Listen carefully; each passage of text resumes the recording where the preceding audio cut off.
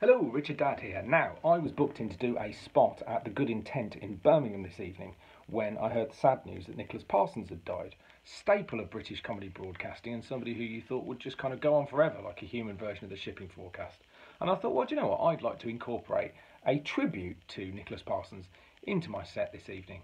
Um, but how could I do that? Because I was going to be doing the set in the character of Satan.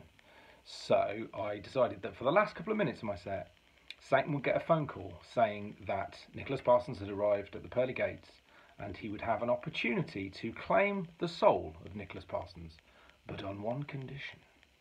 Only if I could talk for one minute on a subject of the choosing of an audience, the good intent, without hesitation, repetition, or deviation.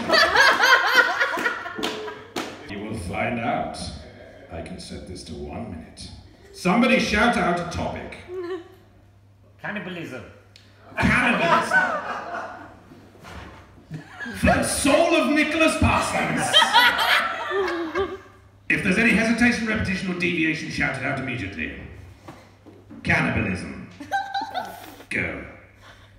Cannibalism is the practice of eating the flesh and or organs of an organism who happens to be of the same species as the person who is doing the consuming.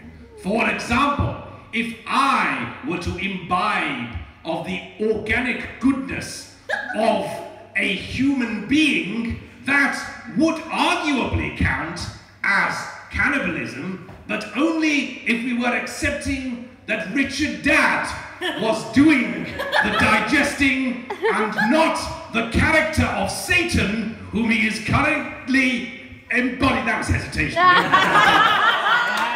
Damn! Damn you, Parsons! Yeah. He's free to go to heaven. But at least there's some integrity in hell. But there's integrity in hell. There's sauciness and naughtiness in hell, my friend. And I'll see you there. But for now, to Nicholas Parsons. Cheers!